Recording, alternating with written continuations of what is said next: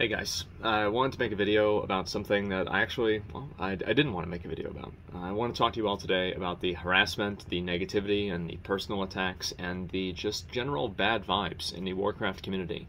This has been going on ever since, uh, well, it's been going on ever since the beginning of the game, but it's been getting worse over the past year or so, and I think it's been boiling over leading up to and now into patch 9.1, and especially with the Blizzard lawsuit, I think that's given a lot of people uh, justification, and it's emboldened them to be much more aggressive and much more direct with the negativity that they've directed towards Blizzard and also Blizzard employees.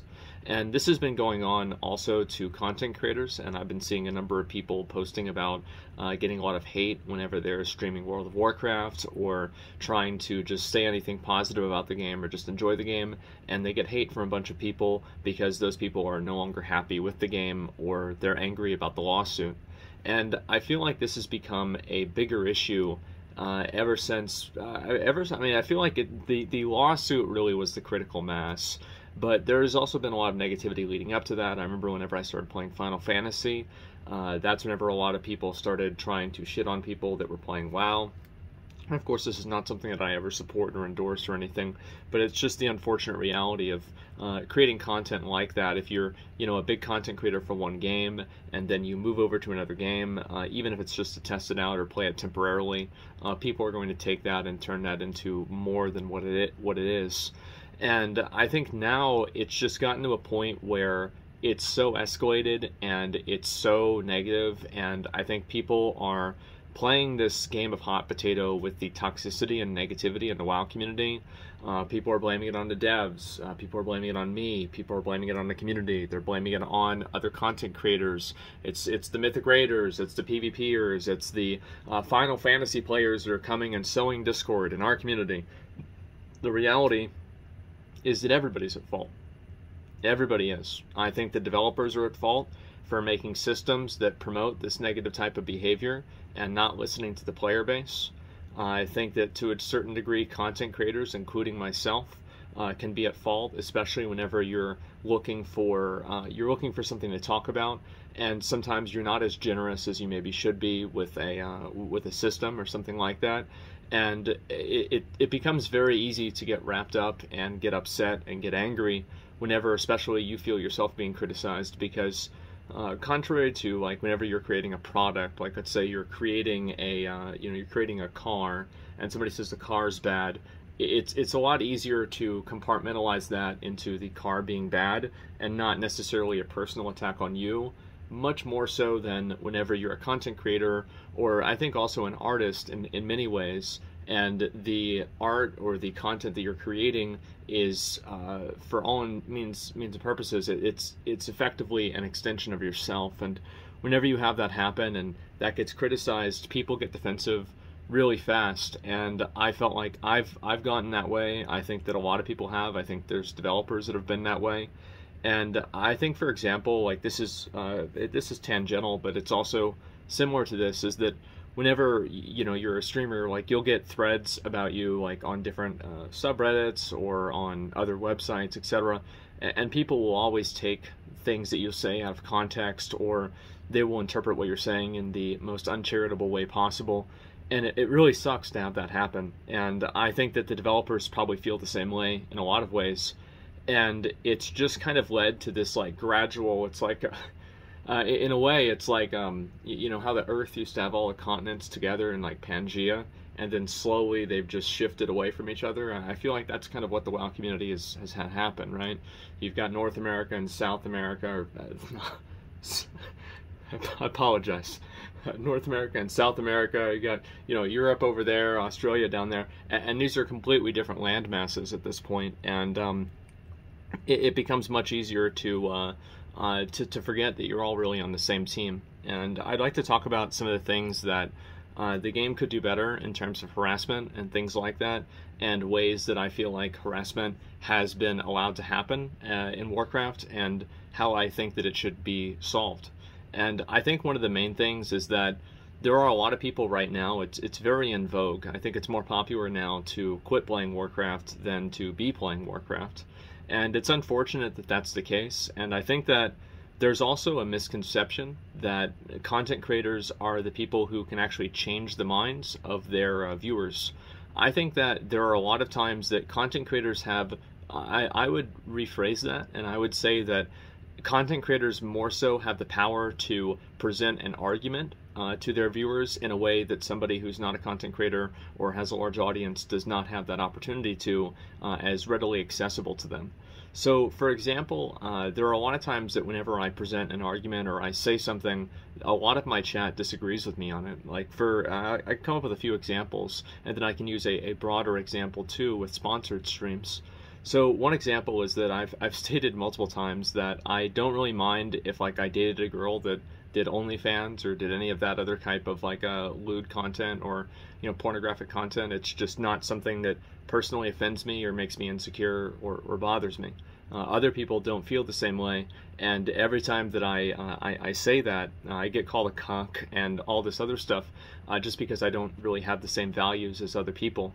And I think that that kind of goes to show that oftentimes you can't really change the way that people feel at their core. And I think oftentimes content creators more so give the opportunity to allow uh, uh, allow an audience to have a standard bearer or some sort of rallying point for their position or their opinions and not necessarily dictate those opinions themselves. Because if you're a content creator and all you do is have opinions that nobody agrees with i don't think you're ever really going to get that popular and it's just the reality of things. And there are, of course, uh, many times where content creators do go against the grain and present a very well reasoned argument. And I think that well reasoned argument uh, does actually change people's perception. That's happened a number of times. I think that two examples of this in the Warcraft community is the Warlord Draenor was not really that bad video by Himmared and then also the uh, the Mad Season level boosting video because before that video, the level boosting and Burning Crusade was perceived to be an elitism issue, and people felt like the people who didn't want leveling boosting uh, were just uh, you know toxic elitists, etc. And I think after he made that one hour video, it became a lot more evident that uh, it was a much larger and much more uh, grand issue than that. So I do think that content creators have the opportunity to change the minds of audiences. However, I don't think that those content creators have the uh, ability to do that all the time. I think that that ability and everything about it, it hinges entirely on that person's uh, ability to create a positive and strong argument for it. And I'm going to draw one more larger scale comparison for this, just so I can explain it. So, uh, sponsored streams. Uh, there are a number of people who do sponsored streams, and I've done them before too. And usually I try to only do sponsored streams with games that uh, I would have probably played on my own, or I was thinking about playing, and the money just makes it like, okay, you know what, let's do this, let's try it out. But the reality is that there are times whenever uh, people take sponsored streams, and I'll give two two games for example. I'm going to give uh, Fortnite for one example, and I'm going to give the Marvel Avengers game for the other example. And with the Marvel Avengers game, there are they must have pumped millions and millions of dollars into influencer marketing campaigns to have uh, different streamers and everything play this game on their stream and promote it. And as far as I know, the game is completely dead the moment that the money stops coming in. And I think it's very evident why. It's because people don't really like the game. It's not an enjoyable game for them. And the excitement around it is purely, uh, it, it's it, it's artificial. Uh, it, it's propped up. It's not real. It's just uh, it's artificially inflated because they're having people that are getting paid to play it. Now, I think this is true also with Twitch drops. I think it's also true with other sorts of promotions like that. So this is a very common thing that advertisers do in order to promote their game and create uh, inflated numbers. So another example that I can use, and this is an example of it not working, but an example that I can use of it working is uh, Fortnite. Uh, there was a day, many years ago, that a, a young Tim the Tatman, a young Dr. Disrespect on Twitch, uh, and a number of other people were all paid on the same day to play Fortnite together with each other. Uh, this brand new game, like it just came out with this BR mode, and you know everybody wanted to see what it was like, and you know what? They played the game and people saw that game and they said to themselves, wow, this is actually pretty fun. I want to try this game out. I want to play it.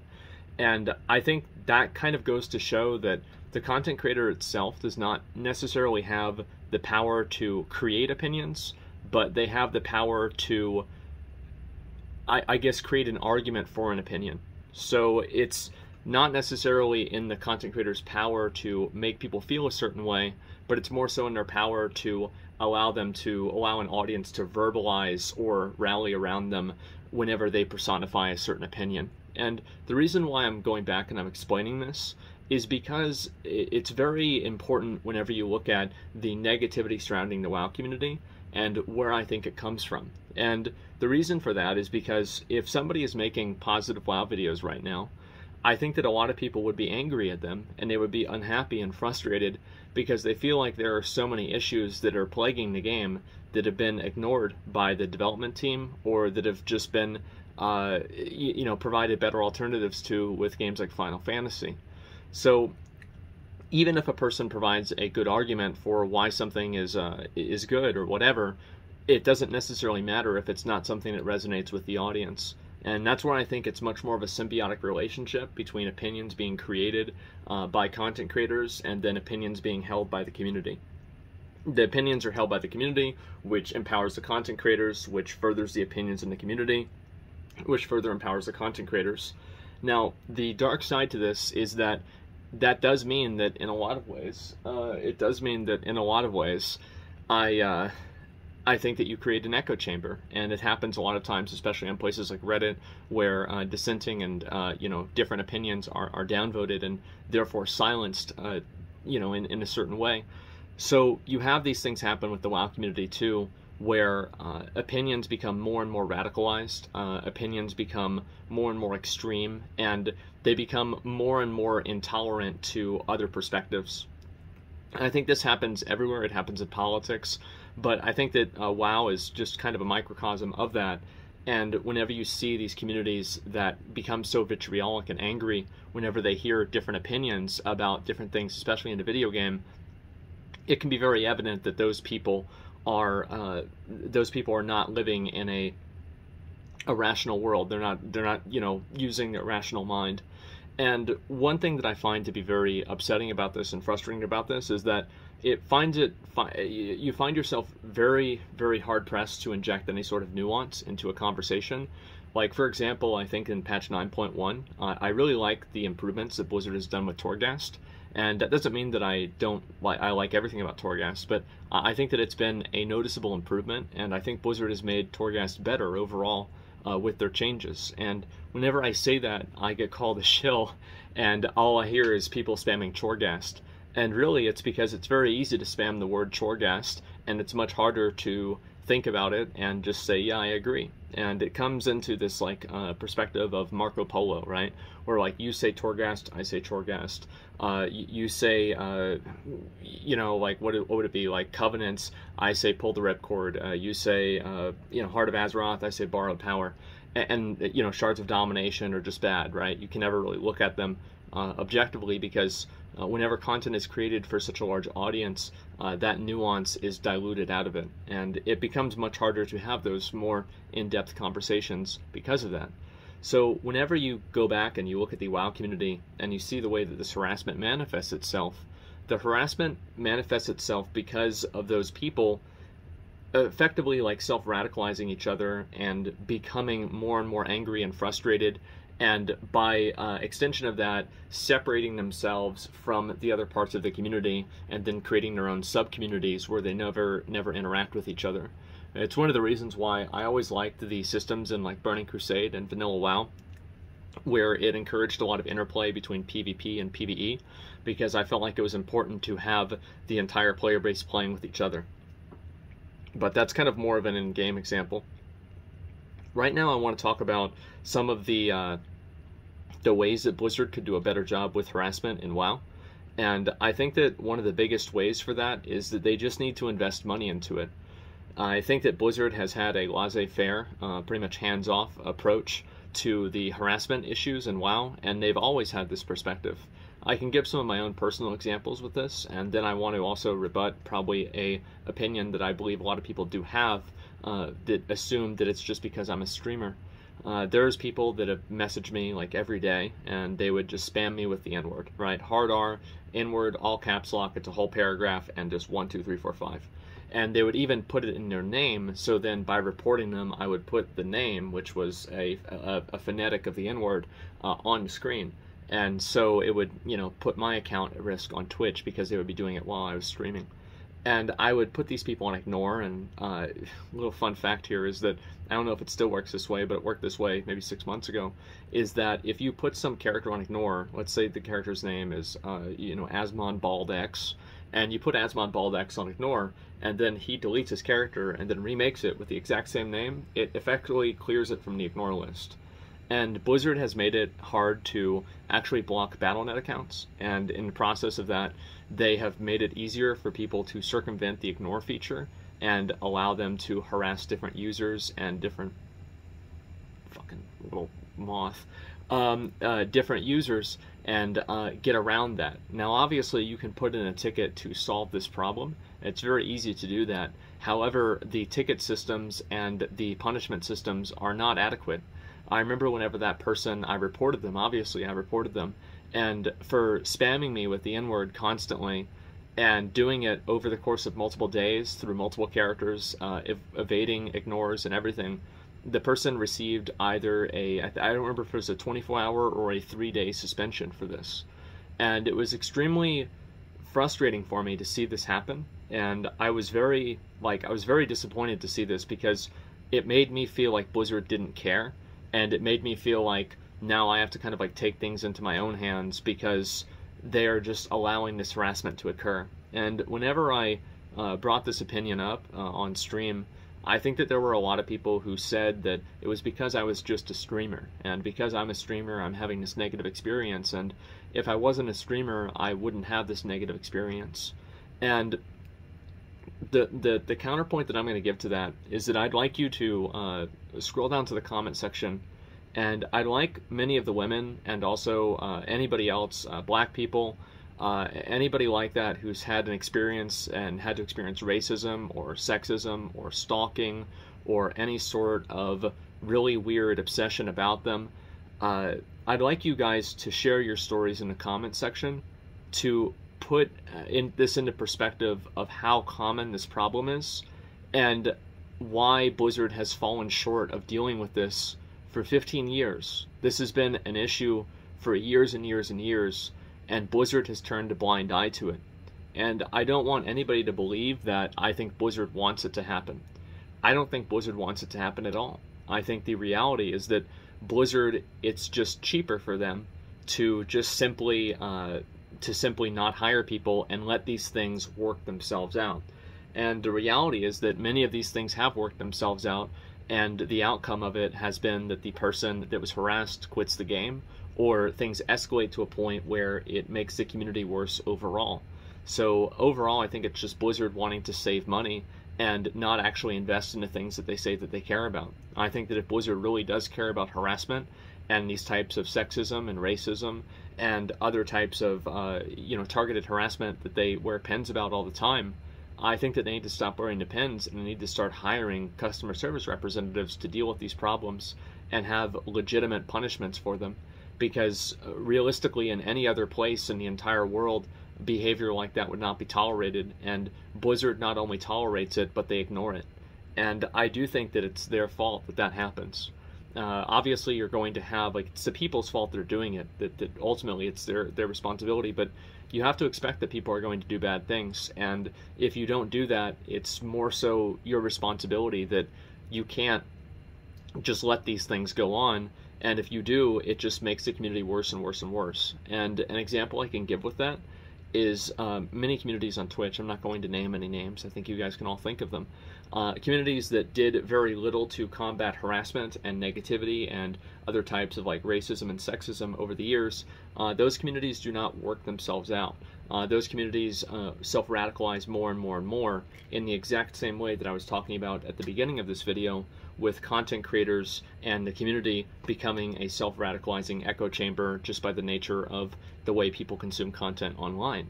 And I think that this is what will happen with the WoW community too. And this is actually what did happen with the WoW community. And I'll give an example of this with RBGs. Uh, RBGs were one of my favorite things to do in WoW, in Cataclysm.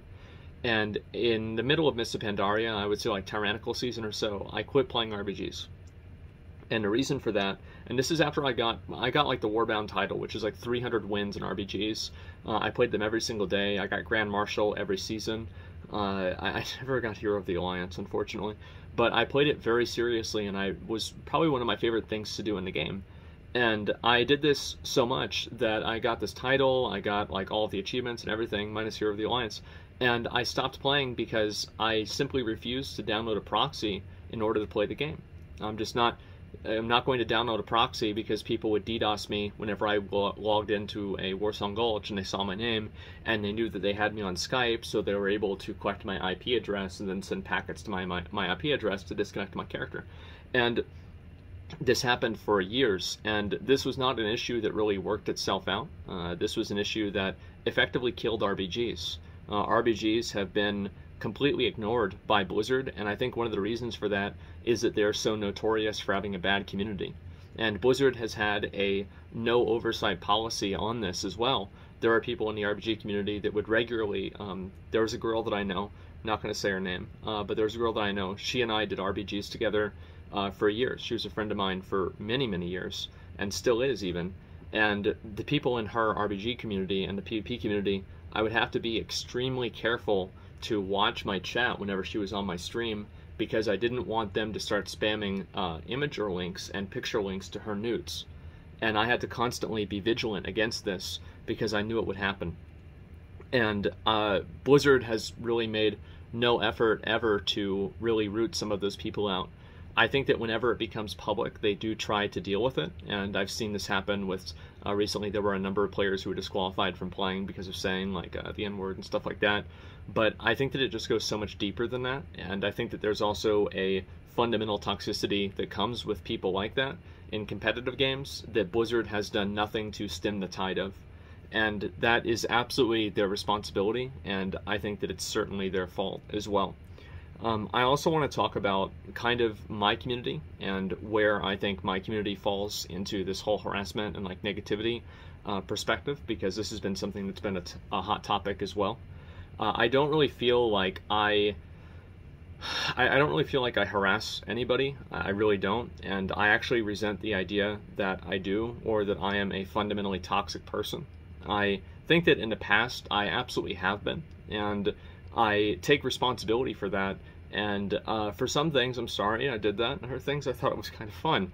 But whenever I'm talking about toxicity in, in these games, especially in Warcraft, I'm not really talking about uh, ninja looting. I'm not really talking about uh, you know slash spitting on somebody. I feel like these are all. This is just like video game friction. Like yes, it's bad. I'm not saying it's it's not bad, but it, it is like whenever I'm saying toxicity, I'm talking about um, you know, targeted racism, targeted harassment, uh, stalking, doxing, these kinds of things here.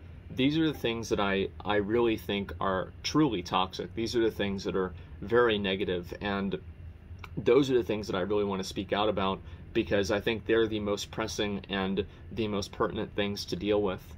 So whenever somebody says that I'm toxic for the WoW community because I say big dick or because uh, you know, I promoted the slash spitting on people for having store mounts.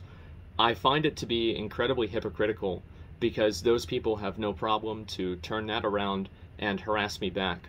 I think that oftentimes people take things personally, and because they take them personally, even whenever it doesn't necessarily uh, target them or affect them, um, that they feel that they are uh, obligated or allowed or morally justified to respond to that uh, harassment with harassment from themselves, even though that harassment initially did not really occur to them on a personal level. And I've seen this happen with other people at, uh, at Blizzard, even. Uh, these people have, uh, like, I've made a lot of categorical remarks about different systems and different things in, in WoW, and I've said that these systems and the things in WoW are, are terrible. And I've even said that some of the people that work on them probably shouldn't be working on them anymore. And I want to make it very clear that I believe that. Uh, the fact is that for the past five years, uh, the systems in the game have been, and just the content in the game has been on a slow and obvious and steady decline. Uh, the development team does not spend any time listening to the player base. They make the player base beta test bad bad systems for years for expansions and they've diluted and killed their community by doing so. And I don't think that whenever I say this, I change anybody's mind. I think that whenever I say this, other people say, yeah, I agree. I'm not uh, the person causing people to feel this way. I'm simply the person who is vocalizing the way that they feel. And you see so many people leaving the game, and you see so many people, uh, you know, hating on the game, etc. And the reason why they do that is because people have said over and over and over, don't give us X, don't give us Y, please stop doing X, please stop doing Z. And Blizzard just keeps doing it. They just keep doing it. So, like, what do you do? Uh, these are people who have been invested in the game for 15 years. They don't want to quit the game, so they become more vitriolic with their feedback. And I don't think it is acceptable to do that. And I've tried to make things as not as personal as possible. But the reality is that whenever you constantly fail, and that's what I think that they've done, I think that they have failed in so many ways. And I think that I think probably the best example of this is the Covenant corruption rotation, or Covenant, uh, the corruption vendor rotation in BFA. The fact that this was even tolerated by a single player in the entire game just goes to show how badly the WoW community is beaten, and they just don't care at all about uh, the systems anymore. They don't care about the game anymore, and they'll just eat shit for no reason. Uh, was not acceptable for that kind of thing to happen, and I see this happening more and more and I don't really know what to do about it because I've tried to offer more constructive feedback and it gets ignored. I've tried to be more direct about it and it's been ignored. And at this point, it's like you just basically have to either play the game and say, fuck it, it is what it is, or just stop playing. And I think that there are a lot of people who have come to that crossroads and gone one way or another. And it's really sad to see all the videos of people taking one approach or another approach because I don't think it's necessary. And I think that from now on, uh, this is something that I'm going to try to do because I don't really know. Like, it, it's it's so sad and frustrating for me, and I, I do feel kind of dumb for doing this, especially in the situation, the position I'm in. But I'm just gonna try to not be as much of an asshole about it anymore, and I'm just gonna try to be much more analytical, because it's the only thing to do. Like I, I don't. It, it's it's so frustrating to me because like I've I've played the game for 15 years and I've streamed for five or four something like that. I don't remember how long. Made videos for even longer than that. And I, I've never felt more ignored and I've never felt like there's more of a divide and a wall between the community and also the developers. And I, I do understand that I think that to some degree whenever I do say that I think they should be fired, that it probably does.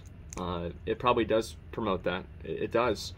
And it, it, puts me in a weird position because it's what I think is true. And I think that any reasonable person would say that if somebody delivers a bad product for five years, that you should probably get somebody else to deliver the product. It, this is not a personal attack. This is a categorical statement. And I, I, I don't really like the idea that it is a personal attack at all.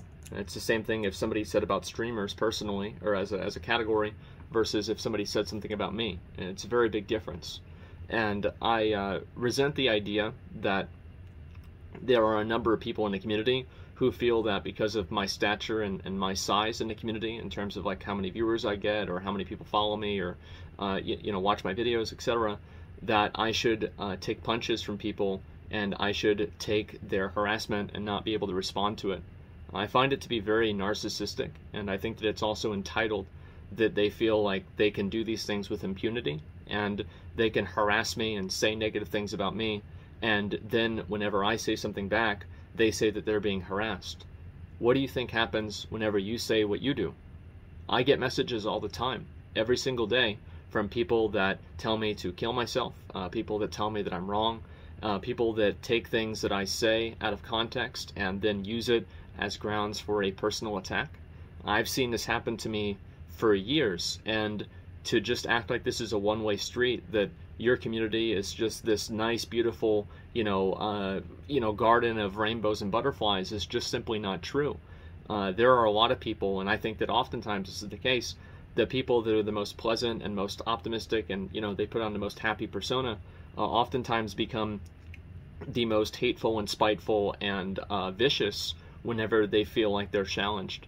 And I've seen this happen a lot to me personally, and I really disagree with, and I also resent the idea that I should roll with the punches and allow this to happen without defending myself whenever I believe that the people who are saying these things are contributing to harassment for me. I also want to make it very clear that I'm not a victim here. Um, I mean, to a certain degree, yeah, sure, like you could look at it that way. I don't. Um, I think this is just a online interaction, and of course, yes, people do take it too far uh, many times, but uh, I'm not really a victim. I don't really, I'm not really looking for sympathy. I'm not looking for help exactly. Uh, I just want it to be known that whenever you engage in that, you know, I said, you know, if you take the low road, I'll meet you there. I'm not going to high road anybody. I don't want to do that, but I also don't want to get pushed around and bullied. And I find it to be, as I said, narcissistic and entitled to expect that I should allow this to happen to myself for any reason. And I also, at that same time, have to accept that people will be uh, rude and, and negative towards me if I if I do that. And it's something that I have to deal with myself. But the only thing that I can really tell myself is that I try not to start those things. Uh, I, I never want to initiate a conflict like that, but I'll, I'll rise to the occasion if somebody else does. And I, I would prefer not to do that anymore. And I don't really know exactly how to approach that without just being a punching bag. And it makes it very hard for me and it's just taxing uh, very mentally whenever you have people that are constantly uh, you know trying to bite away at you and trying to uh, find different ways that uh, you know they can rationalize uh, negativity and abuse towards you and I, I, I do want to say that I just want to move past it. I don't want to deal with this anymore. I don't think it's good for the community either. I think the reality is that ever since the lawsuit, there have been a lot of people. I, have of course covered pretty much all of the different angles and everything about the lawsuit. Uh, I've covered all of these things, and in the process of doing that, I've attracted a large audience of people who uh, dislike Blizzard, and because of that, those people use my community as a uh, as a hub, as a you know, as I said earlier, as a rallying point, and then those people are unfortunately combined with my community and then seen as the same thing. And I think that's not really true. I think that there are a lot of people who uh, I've I've seen this from other customer service representatives from uh, Blizzard that whenever the whole lawsuit stuff came out, there were a lot of people that were just putting in tickets, uh, telling GMs that they were uh, you know enabling rape and stuff like that, and just really bad stuff. And you know, imagine if you're a GM working in already very bad conditions, and now you have uh, this person who's harassing you for something that you didn't even do. Maybe you even played a part in uh, trying to stop happening, and maybe you could even be a victim of, and now you're being harassed for it as well under the guise of self righteousness. Uh, it must be extremely taxing as well. And it's very hard to know what to do with a situation like that. Uh, do I stop talking about it? I think it's very important to me personally. As a Blizzard fan, I do feel betrayed in a lot of ways. Uh, I've been a loyal Blizzard fan for over 20 years now and to see what's happened and to see how it's been approached is really sad for me to see. But at the same time, I don't know how to deal with these problems and how to talk about them in a way that won't have any degree of collateral. And I don't really also think that I should have to muzzle myself whenever I'm talking about somebody who's uh, who's been abusive towards me. I don't think that's fair. And overall, I think I just want to, as I said, I just want to move past this. And uh, like, I know that the WoW community has been bad, and I think that it's probably going to keep getting worse until uh, more changes are made at Blizzard. And I think ultimately, if they really want to see the, the community get better, just make the game better. Uh, if that was the case, then people would be too busy playing the game to uh, be angry about the community. I remember like the there's always so much toxicity at the beginning of Path of Exile leagues because everybody's sitting in queue, so all they have to do is sit around and complain about the fact that they can't play the game. And so I think this is the case with a lot of uh, a lot of the WoW fans too. And um, I, I so what does this really mean for me? Uh, how, how does this mean for me? Like, what do I want to do? Uh, I think I want to try to focus a little bit more on the more constructive aspects of uh, critiquing the game, and I think that I also want to try to move past and uh, try to avoid having as many personal fights with people. And this is something that I want to make it very clear I don't like doing this. Uh, this is just frustrating for me. Uh, it stresses me out, and I don't like it. Um, as I said, whenever you're a content creator, uh, you know, criticism of your content and criticism of you as a person, there's a very fine line between those two things. And oftentimes it gets blurred, and the criticism is viewed as harassment, and sometimes harassment as is misconstrued as, as criticism as well. And I think it's something that I can improve on, and it's something that's it's so hard to improve on that. It really is. But uh, I think everybody can do a better job. Uh, if it's like me or the Blizzard devs or the community members or anything, uh, it's something that needs to be done together and I, I do apologize, this is such a long video, but there's so many topics and so many things about this and so many angles that I want to talk about that I hope I covered them all. And I hope that you guys can see my perspective on this. Uh, as I said, I'm not a victim. Um, I'm a big boy. I'm a big boy. I can handle it. Uh, but I don't want to have to. And I'd like to move past these things and start actually trying to make the game a better place rather than figuring out and play the blame game on who made it worse. Because the reality is that I do think that in many ways Blizzard does have the sole responsibility of being the stewards and curators of their community. And we as a player base should expect better, especially with customer service, than what we've gotten recently. And as I said before, there are a lot of women and uh, you know people that are minorities in any and all ways really uh, that have had horrible experiences and had those experiences ignored by Blizzard or marginalized by Blizzard and I think it goes to show that this is not a streamer issue. Uh, this is an ongoing issue that's been going on for, for years. And um, it costs money to fix these problems.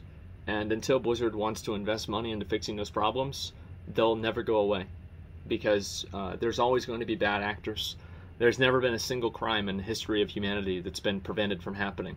There are some that have been, some that have changed. People don't steal horses as much as they steal cars now, but the core idea of every crime is still very present in our society in the same way that it was with Cain and Abel.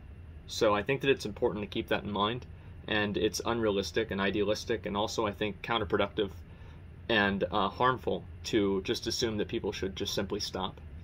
It, it doesn't help anybody because it won't happen. So anyway, uh, I, I, do apologize for the length of the video. Uh, hopefully you guys were able to uh, not fall asleep during it. But there were a lot of things that I wanted to get off my chest, and it's been stressing me out for the past few weeks. And I just wanted to talk about it because at the core, I, I love WoW, and I hate to see the place that it's in. I hate to see content creators that are friends of mine get hate for just being able to play the game and enjoy it. And I also don't like seeing the oh the the bridge that's being burned between the community and the content creators and the WoW devs too. And I'd like to extend an olive branch and uh, try to just put that shit behind us and move on and try to actually make the game a better place. Because I don't really feel like this is not going. I don't think this is going to lead anywhere positive, and I think it's just going to keep getting worse if people like me don't start speaking out against it. And the reason why I wanted to do it is I think that again, people believe that uh, I'm a conduit for these kinds of things, and because I have the largest community, uh, because a lot of people browse, uh, you know, my subreddit, they go to my Twitter, uh, they they watch my streams. Uh, that's why I feel like I have to be the person that, that says these things because, uh, you know, I have so many people that watch me, and I think that they do feel emboldened whenever I say negative things about Blizzard to harass people. How do I handle that? I don't know. We do our best to ban people and, and get rid of people, but you you can only react in many cases with that. You can very rarely be able to deal with it proactively. So uh, it's a learning experience for everyone, and I just hope that at the end of it, the game will actually improve, and we can move past the personal attacks and harassment, and actually just have a better community in general. So anyway, guys, that's about all I've got. Thanks a lot for watching. Uh, go ahead and uh, let me know what you think in the comments. Anyway, peace.